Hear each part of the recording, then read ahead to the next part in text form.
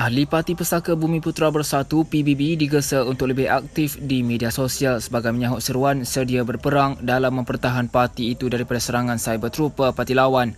Naib Presiden kanan parti itu Datuk Seri Fadilah Yusof berkata media sosial kini menjadi wadah utama bukan sahaja dalam penyebaran maklumat tetapi juga sebagai alat propaganda. Beliau berkata demikian ketika berucap pada majlis perasmian konvensyen khas PBB Zon Selatan yang disempurnakan Ketua Menteri yang juga Presiden PBB Datuk Patinggi Abang Johari Abang Openg di Kuching pada Ahad.